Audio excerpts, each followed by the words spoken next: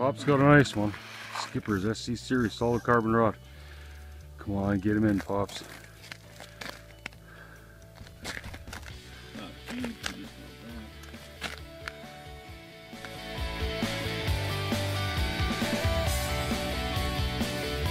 Nice one. Skipper's feeding minnow jig and SC Series solid carbon rod.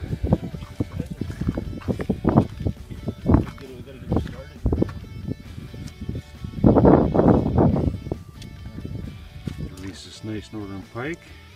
Skipper's geared to.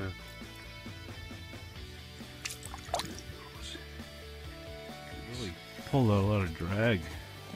This fish.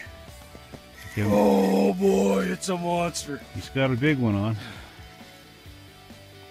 Gotta take him slow though.